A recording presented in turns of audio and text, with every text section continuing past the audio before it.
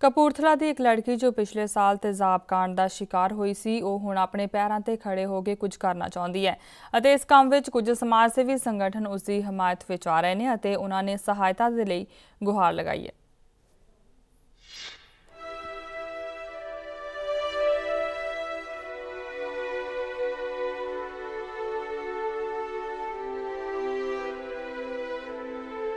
ਕਪੂਰਥਲਾ ਦੇ ਸਰਕਾਰੀ ਸਕੂਲ ਵਿੱਚ ਟੈਂਪਰੇਰੀ ਬੇਸਿਸ ਤੇ ਪੰਜਵੀਂ ਜਮਾਤ ਦੇ ਬੱਚਿਆਂ ਨੂੰ ਪੜਾਉਣ ਵਾਲੀ ਲੜਕੀ ਨੀਤਾ ਇੱਕ ਸਿਰ ਫਿਰੇ ਆਸ਼ਿਕ ਦੇ ਬਦਲੇ ਦਾ ਸ਼ਿਕਾਰ ਹੋ ਗਈ।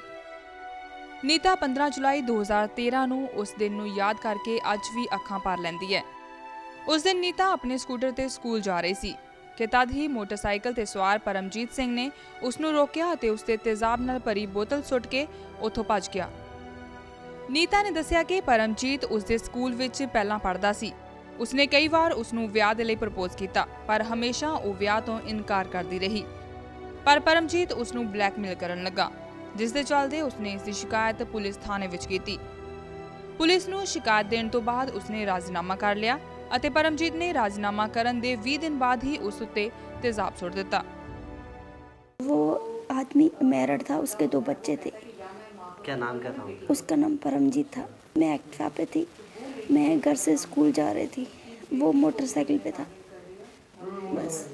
उसके बाद आपको हॉस्पिटल कौन लेके गया? जैसे सर जिस जिस टाइम उसने मेरे पे एसिड फेंका तो मैं गिर गई थी। वहाँ पे काफ़ी लोग इकट्ठे हो गए थे। लेकिन कोई मुझे उठा नहीं रहा था। मैं चिल्ला चिल्ला के बो रही थी ऐसे रो रही थी चीख रही थी।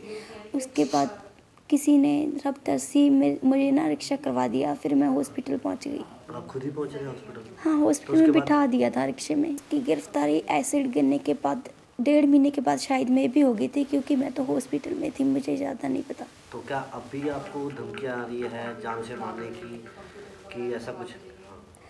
हाँ वो जैसे कि लोगों से पता चलता है कि जिस दिन मेरी जमानत होगी उस दिन मैं उस लड़के को मार डालूँगा। तो ये क्या टीचर थे जो, जिसने आप एसिड फेंका है? किस कारण से ये एसिड फेंका गया है? वो प्राइवेट जॉब करता था दो साल पहले मेरे साथ। उसके बाद, दो साल के बाद उसको स्कूल से निकाल दिया गया। मेरी ट्रांसफ़र हो गई।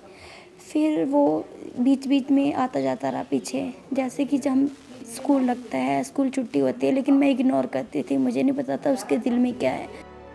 ਗਿਲਟਰੀ ਇਵੈਂਟ ਦੇ ਸੰਚਾਲਕ ਅਤੇ ਮਹਿਲਾ ਸਮਾਜ ਸੇਵਿਕਾ ਤੇਜਿੰਦਰ ਕੌਰ ਸੋਨੀਆ ਨੇ ਦੱਸਿਆ ਹੈ ਕਿ ਉਹ ਕਪੂਰਥਲਾ ਨਿਵਾਸੀ ਨੀਤਾ ਨਾਲ ਕਾਫੀ ਲੰਮੇ ਸਮੇਂ ਤੋਂ ਜੁੜੀ ਹੋਈ ਹੈ।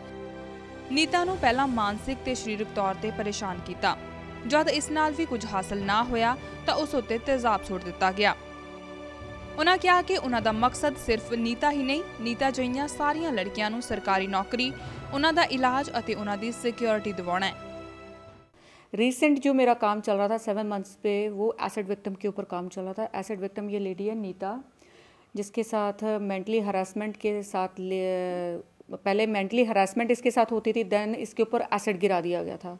अभी मेरा ये अप्रोच है कि इसको एक जॉब दिलवाना है गवर्नमेंट जॉब दिलवानी, इसकी क्राफ्टिंग के लिए, इसको जो इसकी प्रॉब्लम चल रही है स्किन की, इसके लिए मतलब पीजीआई हो जाए या फोर्टिस हो जाए जितने भी लाखों की इसकी ग्राफ्टिंग का खर्चा है वो फ्री ऑफ कॉस्ट इसकी स्किन प्लास्टिक सर्जरी होनी चाहिए ਹੁਣ ਨੀਤਾ ਇੰਨਾ ਕੁਝ ਹੋਣ ਦੇ ਬਾਅਦ ਵੀ ਆਪਣੇ ਪੈਰਾਂ ਤੇ ਖੜਾ ਹੋਣਾ ਚਾਹੁੰਦੀ ਹੈ ਨੌਕਰੀ ਕਰਕੇ ਆਪਣੇ ਪਰਿਵਾਰ ਦਾ ਪਾਲਣ ਪੋਸ਼ਣ ਆਪਣਾ ਇਲਾਜ ਕਰਵਾਉਣਾ ਚਾਹੁੰਦੀ ਹੈ ਪਰ ਸਰਕਾਰ ਉਸ ਦੀ ਇਸ ਹਾਲਤ ਤੇ ਕੋਈ ਗੌਰ ਨਹੀਂ ਕਰ ਰਹੀ ਜਦਕਿ ਉਹ ਇਸ ਬਾਰੇ ਕਈ ਵਾਰ ਪੁਲਿਸ ਦੇ ਸੀਨੀਅਰ ਅਧਿਕਾਰੀਆਂ ਨੂੰ ਵੀ ਗੁਹਾਰ ਲਗਾ ਚੁੱਕੀ ਹੈ ਚੰਡੀਗੜ੍ਹ ਤੋਂ ਕੈਮਰਾਮੈਨ ਪੰਕਜ ਸ਼ਰਮਾ ਅਤੇ ਪੱਤਰਕਾਰ ਮਨੋਜ ਰਾਠੀ ਨਾਲ Kaumita Minhas day and night news.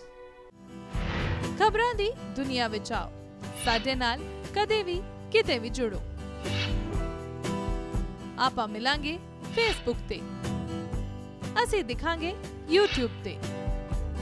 ਸਾਨੂੰ ਫੋਲੋ ਕਰੋ Twitter ਤੇ। ਖਬਰਾਂ ਨਾਲ ਜੁੜੇ ਰਹੋ ਦਿਨ ਰਾਤ।